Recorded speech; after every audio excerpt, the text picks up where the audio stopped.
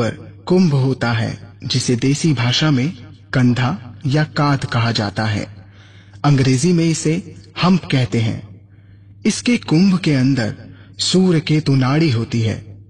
वैदिक विज्ञान के अनुसार कहा जाता है सूर्य केतु नाड़ी बाहरी वातावरण से आवश्यक औषधीय पदार्थों को ग्रहण कर उन्हें दुग्ध, मूत्र और गोबर में उत्पन्न करती है, जो अधिक से अधिक पौष्टिक गुणकारी एवं उपयोगी सिद्ध होते हैं।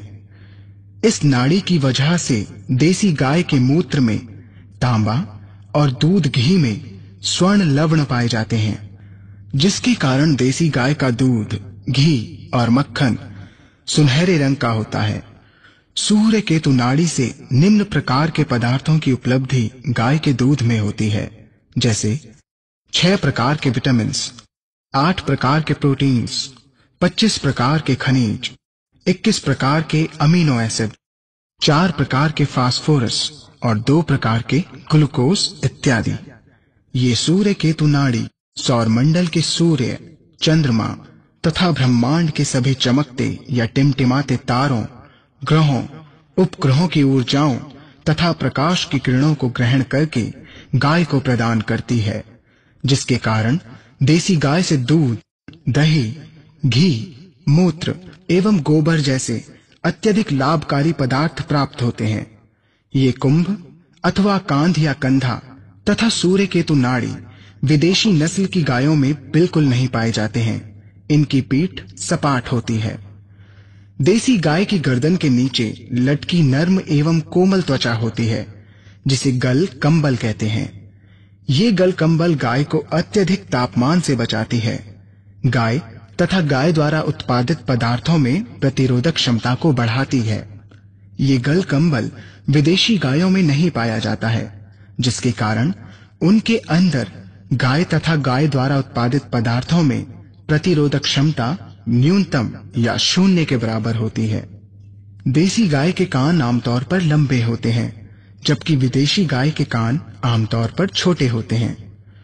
देसी गाय के सिंग आमतौर पर लंबे एवं पिरामिड के आकार के होते हैं, जो वास्तविक तौर पर मज़बूत बुनियाद का काम करते हैं, एवं ब्रह्मांडीय तरंगों को ग्रहण कर उन्हें पंच गव्य के लिए सही ऊर्जा में परिवर्तित कर देते हैं ज़्यादातर विदेशी नस्ल की गाय में सिंह होते ही नहीं हैं। कुछ नस्ल में पाए जाते हैं, लेकिन अत्यधिक छोटे आकार में, जिसके कारण ब्रह्मांडीय तरंगों को ये ग्रहण नहीं कर पाती हैं देसी गाय का मुखमंडल गोलाकार होता है, जो दिखने में अच्छा लगता है, और विदेशी गाय का मुखमंडल चपटा होता है, जो दिखने में भद्दा लगता है। देसी गाय की आवाज़ मधुर एवं मनमोहक होती है। विदेशी गाय की आवाज़ करकरी एवं अप्रिय लगती है। देशी गाय की खुरें छोटी होती हैं, और जो एक दूसरे से काफ़ी लगी होती हैं, जो वातावरण के अनुसार सुरक्षा प्रदान करती हैं। विदेशी विदेशी गायों की खुरें काफ़ी खुली और बड़ी होती हैं, जो वातावरण के अनुसार असंतुलित होती हैं। वैज्ञानिक दृष्टि से देसी गाय काफ़ी बुद्धिशील होती हैं। देसी गाय की प्रकृति या स्वभाव में अपने बछड़े के प्रति स्नेह और प्यार का बंधन स्पष्ट रूप से देखा जा सकता है। विदेशी गाय वैज्ञानिक दृष्टि से बुद्धिशील नहीं होती हैं और ये अपने बछड़े से लगाव नहीं रखती। देसी गाय में सुरक्षा प्रदान शक्ति रेसिटेंस पावर अत्यधिक होती है, जिसके कारण वो भारत के किसी भी मौसम के अनुकूल अपने को ढालने में सक्षम होती हैं। विदेशी गाय में सुरक्षा प्रदान शक्ति कम होती है, जिसके कारण वो भारत के किसी भी मौसम के अनुकूल अपने को ढालने में सक्षम नहीं होती है।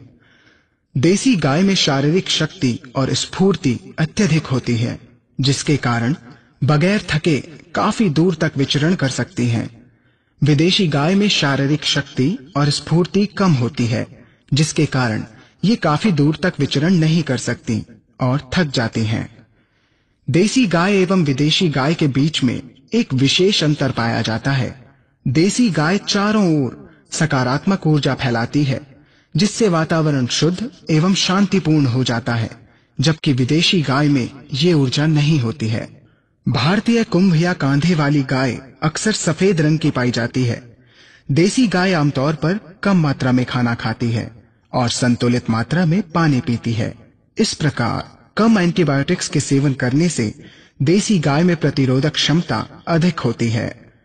देसी गाय से उपलब्ध पंचगव्य वास्तविक रूप से शुद्ध एवं सुगंधित होते हैं, जबकि विदेशी गाय का पंचगव्य उत्तेजक, मलजनित दुर्गंध और गंदगियों से भरा होता है।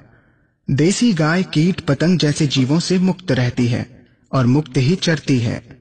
मक्खी एवं मच्छरों को भगाती है। इसका कारण, देसी गाय के शरीर में अंदरूनी ग्लैंड से पैदा होने वाली तैलीय पदार्थों जैसी फिसलन होती है, जिससे इनका शरीर साफ़ सुथरा रहता है, जबकि विदेशी गाय गंदी रहती है और मक्खी मच्छर उसके चारों ओर भिन भिनाते रहते हैं। ये बात स्पष्टनीय है कि भारतीय देसी गाय देखने में चमकदार और तेजस्वी लगती है, जबकि विदेशी गाय डरावनी और गुस्सैली लगती है। देसी गाय की पीठ सुंदर और गोलाकार होती है, जबकि विदेशी गाय की पीठ कुछ अजीब सी कोण आकृति की होती है। भारतीय देसी गाय का गोबर एक प्रकार की पतली परत से ढका होता है, जो सुगंधित लगती है। जबकि विदेशी गाय का गोबर दुर्गंधित होता है। देसी गाय का दुग्ध, जिसे संकेतिक शब्द में एटू कहा जाता है, मनुष्य के लिए सदा सेवनीय तथा स्वास्थ्यवर्धक होता है। और विदेशी गाय का दुग्ध, जिसे संकेतिक शब्द में एवन कहा जाता है, सेवन में संदेह और प्रश्नजनक है। यहाँ पर पहले हमें ये समझ लेना चाहिए कि ए टू दूध और ए वन दूध क्या है। जीव विज्ञान के अनुसार भारतीय देसी गाय के 209 तत्व के डीएनए में सड़सठ पद पर स्थित एमिनो एसिड प्रोलीन पाया जाता है। किसी कारणवश जब गाय के डीएनए में प्रोलीन एमिनो एसिड हिस्टिडिन के साथ उत्परिवर्तित हो गया तो इस प्रक्रिया को म्यूटेशन कहते हैं। भारतीय देसी गाय के दूध में प्रोलीन अपने स्थान सड़सठ पर बहुत दृढ़ता से आग्रह पूर्वक अपने पड़ोसी स्थान छियासठ पर स्थित अमीनो एसिड आइसोलियोसिन से जुड़ा रहता है। परंतु जब प्रोलीन के स्थान पर हिस्टिडीन आ जाता है, तब इस हिस्टिडीन में अपने पड़ोसी स्थान छियासठ पर स्थित आइसोल्यूसिन से जुड़े रहने की प्रबल इच्छा नहीं पाई जाती। इस स्थिति में ये अमीनो एसिड हिस्टिडीन मानव शरीर की पाचन क्रिया में आसानी से टूटकर बिखर जाता है। इस प्रक्रिया में एक साथ अमीनो एसिड का छोटा प्रोटीन स्वच्छंद रूप से मानव शरीर में अपना अलग अस्तित्व बना लेता है। इस सात अमीनो एसिड के प्रोटीन को बी सी एम सात, यानी बीटा कासोमोर्फिन सेवन नाम दिया जाता है। बी सी एम सेवन एक अफीम परिवार का नशीला तत्व है, जो मानव स्वास्थ्य पर अपनी श्रेणी के दूसरे अफीम जैसे ही नशीले तत्वों जैसा दुष्प्रभाव डालता है।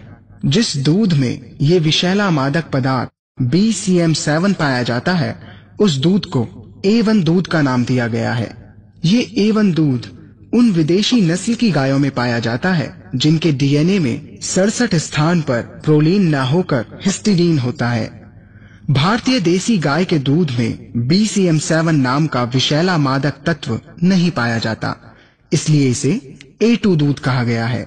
हाल ही में national bureau of animal genetic research ने बयान दिया है कि भारतीय देसी नस्ल की गायों का दूध उत्तम गुणवत्ता से भरपूर है। शोध कार्यों को प्रमाणित करने के लिए वैज्ञानिकों ने देसी नस्ल की गायों का व्यापक विश्लेषण किया और बताया कि भारतीय देसी नस्ल की गाय उत्तम गुण संपन्न दूध प्रदान करती है, जबकि विदेशी गायों के दूध में मानव स्वास्थ्य के लिए उत्तम गुण नहीं पाए जाते। ए दूध में अधिक मात्रा में ओमेगा सिक्स फैटी एसिड यानी ओमेगा छह चर्बी अम्ल पाया जाता है। भारतीय देसी नस्ल की गाय पूर्णतः ए टू दूध उत्पन्न करती है, जिसमें कम मात्रा में बी सी एम सेवन पाया जाता है, जबकि विदेशी गायों में इसकी मात्रा अधिक रहती है, और ये गाय ए वन दूध ही उत्पन्न करती है। ए वन दूध मनुष्य के शरीर में पहुंचकर दो या अधिक प्रकार के अमीनो एसिड उत्पन्न करता है, जिन्हें हम पेप्टाइड या बीसीएम सेवन कहते हैं। ये मानव शरीर के अंदर पहुंचकर गंभीर बीमारियों को उत्पन्न करते हैं। एक लीटर एवन दूध में 24 से 32 ग्राम कैसीन पाए जाते हैं और जिसमें 9 से 12 ग्राम बीसीएम सेवन लगभग दो चाय के चम्मच पाए जाते हैं, जो शरीर के लिए हानिकारक हैं। भारतीय देसी गाय के दूध में अत्यधिक मात्रा में पौष्टिक तत्व पाए जाते हैं, जैसे साइटोकाइंस और उपयोगी खनिज तत्व जो शरीर के लिए बढ़ती शक्तियों को प्रदान करते हैं। मानव शरीर के लिए आदर्श पूर्ण कैल्शियम और मैग्नीशियम की मात्रा अनुपातिक रूप में दो अनुपात एक होनी चाहिए, जबकि एवन दूध में कैल्शियम और मैग्नीशियम की मात्रा अनुपातिक रूप में दस अनुपात एक है, जो मानव शरीर के लिए अत्यधिक हानिकारक है। मैग्नीशियम शरीर के लिए स्थिरता व संतुलन का काम करता है पाचन शक्ति को बढ़ाता है। खून में नियमित रूप से तरलता तथा प्रवाह कायम करता है। मांसपेशियों में भी परिवर्तनशील प्रक्रिया को चालू रखता है। जब मानव शरीर में कैल्शियम अधिक मात्रा में हो जाता है तो शरीर कमज़ोर और स्थूल हो जाता है। ये मनुष्य के रक्तचाप को अनियमित कर देता है, जिससे किसी को भी हार्ट अटैक या हार्ट फेल हो सकता है। मैग्नीशियम मानव शरीर के लिए अति आवश्यक है, क्योंकि इसकी प्रक्रिया में 300 से अधिक उपकारी प्रक्रिया संतुलित अवस्थाओं में चलती रहती है। इसलिए मैग्नीशियम को वैज्ञानिकों ने नाम दिया कैटलिस्ट ऑफ़ लाइफ, यानी जीवन स्फूर्ति। एवन दूध में मैग्नीशियम की मात्रा हमेशा कम होती है। एवन दूध के सेवन से मानव शरीर में गंभीर बीमारियाँ उत्पन्न हो जाती हैं, जैसे acne eczema upper respiratory infections asthma allergies bronchitis, diabetes, cardiac problems, mental disorders, Parkinson's, multiple sclerosis, obesity, schizophrenia, arteriosclerosis, and intolerance bloating.